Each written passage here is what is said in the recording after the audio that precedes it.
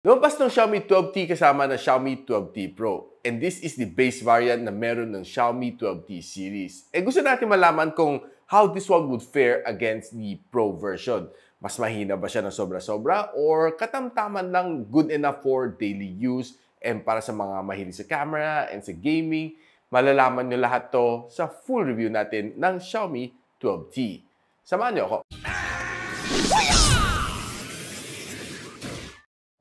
So hi guys, ako si Richmond ng Gadget Sidekick and welcome back to my channel. So andito sa harapan natin is the Xiaomi 12T. And ang box niya hindi pa rin nagbabago since the Xiaomi 10T. And still looks the same, white pa rin siya. So syempre simulan natin with a quick unboxing.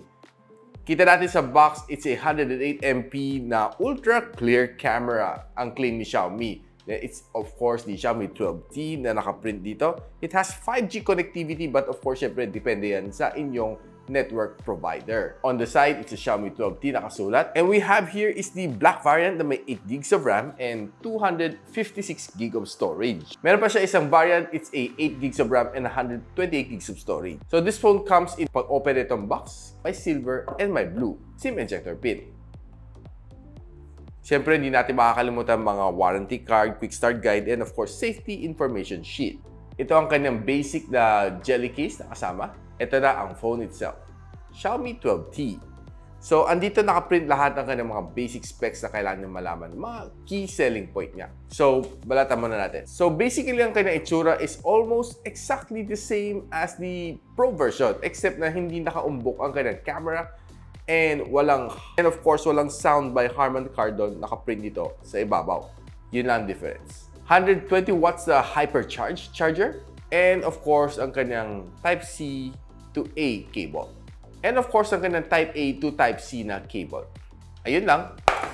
Pag-usapan natin ang kanyang design. This phone is exactly almost the same dito sa Xiaomi 12T Pro. And like I said, ang kanyang difference is yung kanyang camera bump.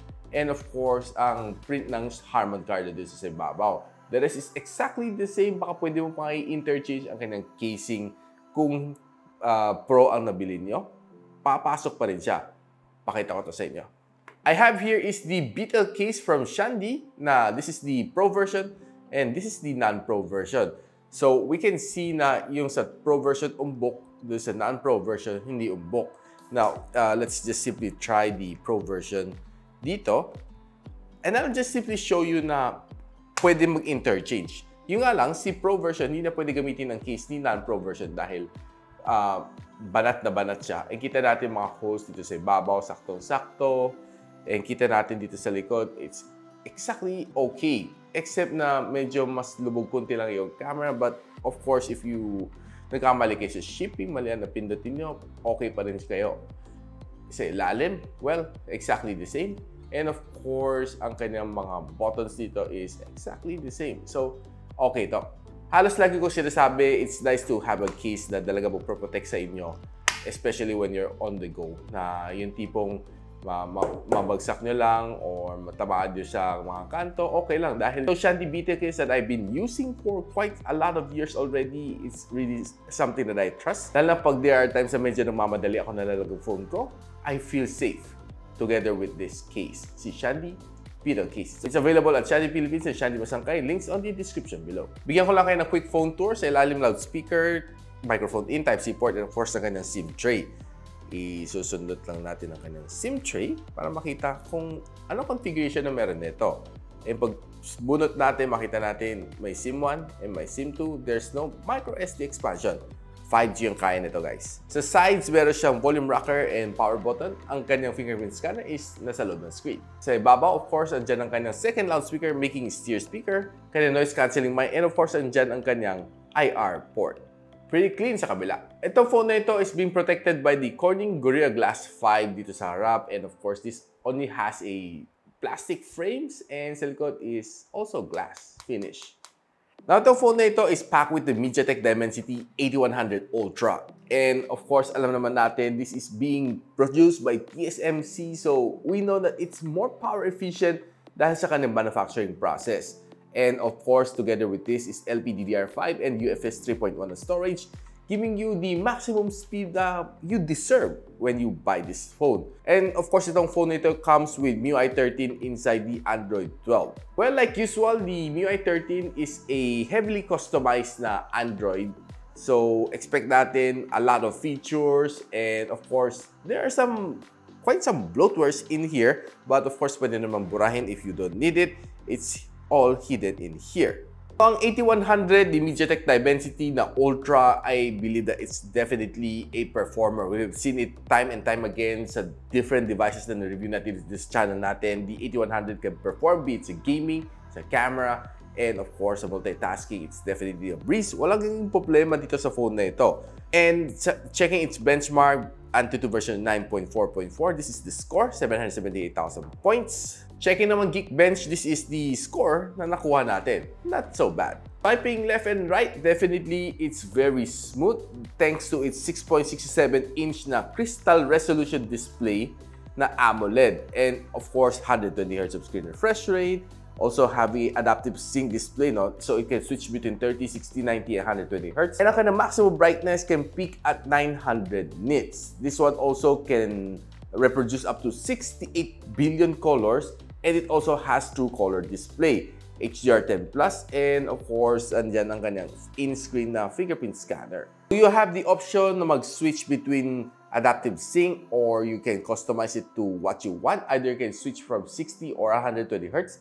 Depende sa inyo kung anong gusto niyo. But of course, uh, I would recommend you use the default or adaptive sync para mas makakatipid ng battery. And this one, you can also play with its color scheme. So you can uh, put it to more saturated or or depende sa inyo na original color.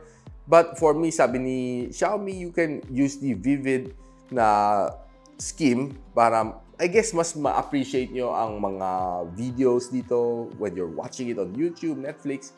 This is what it recommend. So since this phone has a level 1 na Wi-Fi security level, playing videos on Netflix and of course other online streaming apps na in HD sisyong sisyo kayang-kaya nito phone na ito. Watching videos on this one is definitely enjoyable and what I like about dito sa phone na ito is very thin ang kanyang mga bezel sa ibabaw, sa gilid, and of course sa ilalim. And another thing is that kanyang punch hole is quite small din. So definitely good job on that. Watching videos on this phone, I can say I was enjoying it every single bit dahil sa kanyang malaking na screen to body ratio at around 88%. And definitely the display is nice dahil sa kanyang crystal resolution na AMOLED display. The black is blacker, colors are punchy, I love it, and definitely it's probably one of the device that I love watching movies on this. While watching the videos and listening to Spotify, I can see ang kanyang sound dito is quite okay. Probably not as loud as that dun sa calibrated ni Harman Kardon, but overall for me, this is quite okay na. And of course, For me, overall, it's quite okay. But if you are not satisfied with it, you can always use your favorite uh, TWS, the Bluetooth to go together with this one. And I would suggest that you try this one, Redmi Buds 4 Pro. This is also one of the items na na-release together with the Xiaomi 12T series. Ang kanyang dual speaker is being calibrated by Dolby Atmos. And I can say that it's quite okay uh, probably not the loudest that I've tried and maybe hindi niya kaya i-match yung sound quality doon sa Pro version. But overall, for me, it's quite decent and quite okay. But if you're not that satisfied, you can always use yung mga TWS na available there in the market. And I can recommend this one, ang bagong labas ni Xiaomi, the Redmi Buds 4 Pro to go together with your Xiaomi 12T. And this is one of the device na nirelease ni Xiaomi together with the Xiaomi 12 series. Of course, stay tuned for my full review of this one. Pagdating naman sa battery, generous naman ang binigay ni Xiaomi dito. It has a 120 watts of fast charging capability, 120 watts uh, hypercharge, I mean, and it also has a 5,000 mAh of battery inside of this one. And it's, for me, industry standard, 5,000 wala naman kailangan ipagmalaki. Maybe if you're 6,000 and magana yung phone mo, well, I can be proud of that. And charging this phone from 0 to 100, it takes me just roughly mga 22 minutes quite fast and isang ligo lang naman yun. No? So definitely something na you would like to have, especially when you're the type of person na always on the go, nagmamadali, lagi na sa meeting, laging wala sa bahay. Now, kanyang battery endurance for me, it's quite okay. Maybe not that impressive. It can only withstand 10 and a half hours dito sa PC Mark na battery stress test, kanyang screen on time.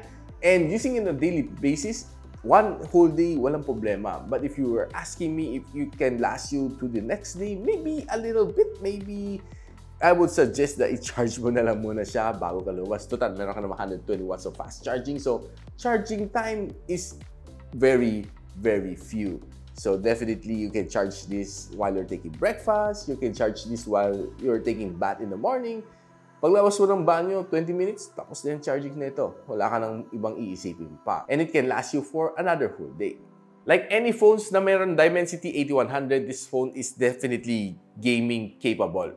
Playing titles like Call of Duty, playing uh, Genshin Impact, Mobile Legends, PUBG, kaya-kaya naman ito phone na ito. I can say na it can breeze you through gaming without any problem. Now, I was able to play Call of Duty Mobile on this one and I was able to enjoy every single moment na hawak ko siya. And yung kanyang touch response is definitely good. The viewing angle is quite nice. And of course, ang kanyang, uh, and of course, ang kanyang graphics is also okay. Playing the game, I was able to enjoy it for an hour and a half. And I can say na sa likod, medyo umiinit somewhere dito. So I would recommend you to get some type of cooler or maybe basok lang sa aircon room para medyo mag-dissipate ko tiyan ka ng init. But I can say na hindi naman siya nakakapasok but medyo sometimes nakairita lang naman. So pasyalan natin probably one of my favorite topic sa smartphone is of course trying the camera, the main camera sensor of this phone. It has a 108MP na wide angle camera. It's a Samsung ISOCELL na HM6. And of course, ang aperture is 1.7. It supports OIS and ultra night mode. Together with it is a 8MP na ultra-wide angle camera and 2MP na macro camera. And ang highest na video resolution it can take is a 4K 30fps na performance. Ang kanyang front camera is a 20MP na selfie shooter and it has a aperture of 2.24. It can also take in 1080p 60fps na video resolution. Tingnan natin yung kanyang 108MP na mode. I was able to capture some shot and trying to zoom it to my heart's content. Now, I can say na some of these shots are really nice. Lala if you want to check it out something over the tall building or something along the uh, highway. You can zoom into your heart's content para malaman nyo kung ano nangyari doon sa scene na yon na na-capture nyo. Outdoor shots, I can say okay, uh, definitely good. And of course, uh, most of these shots are really clear and quite impressive naman ang ka camera. Well, probably not to be compared sa mga Xiaomi 12, Xiaomi 12 Pro. Uh, I can say na itself yung kanyang camera is nice, but of course, you can expect a little bit better from uh, the Pro version. This one for me is okay, but kaya pa naman na mag-improve, maybe doon sa kanyang Pro version might give you some better shots dahil 200MP. Malalaman natin on my full review of the Xiaomi 12T Pro. Indoor low light shot, okay naman siya. Wala namang naging problema. Quite clear. Selfie camera, well, uh, outdoor is quite okay. And of course, indoor is also good as well. Now, trying kanyang front camera for vlogging, I was wondering kung bakit ganito ang kanyang performance. So, maganda na kanyang camera, I can say. But what I noticed is medyo jittery siya. Mapapansin mo throughout this video. I hope na i-correct ni Xiaomi to dahil this phone is definitely the performance ng camera but having a jittery performance like this, well, medyo nakakahinayang. And the video na nakuha ko dito for indoor na using the rear camera, shooting at 4K 30fps, quite stable ah, and I'm impressed dahil sa kanyang OIS And medyo makita nyo, malikot ang aking kamay, left and right, left and right. But of course, it was able to be stable. Kaya okay na okay to. Except may kunting flicker din siya along the way.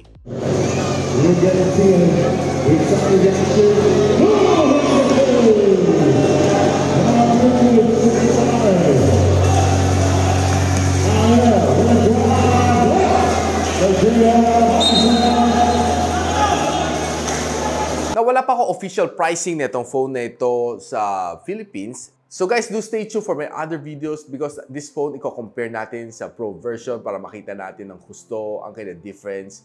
Probably sa price difference might be uh, uh, plus minus 5K. Well, halos ganun din ang 10T and 10T Pro, then 11T, 11T Pro. Nagkakatalo lang sila almost 5,000 pesos.